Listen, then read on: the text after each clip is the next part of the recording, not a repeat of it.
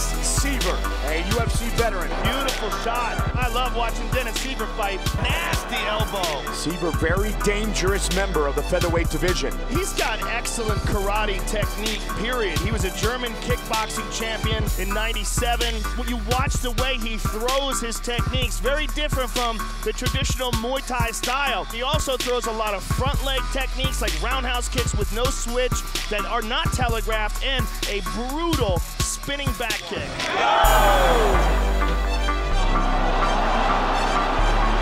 Look at that, full torque right to the liver. He had eight wins in the UFC lightweight division and now fights in the featherweight division. He's fired up. Very compact, very hard to keep down.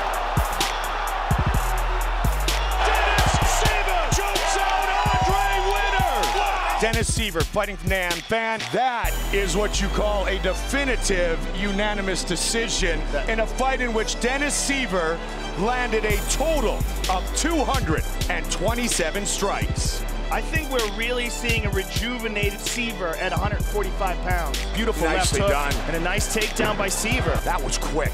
That is one angry looking man right there.